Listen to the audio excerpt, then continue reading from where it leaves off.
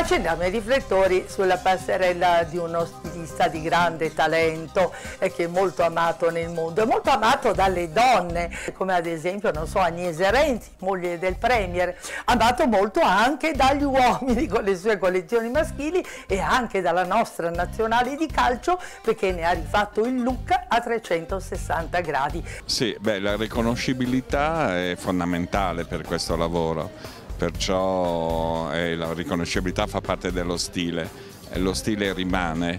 Poi c'è la ricerca, c'è l'innovazione, c'è la ricerca del nuovo, eh, il pizzo, il macramè è mosaico, il pizzo è un plissé. E perciò entrambi sono materie che cambiano.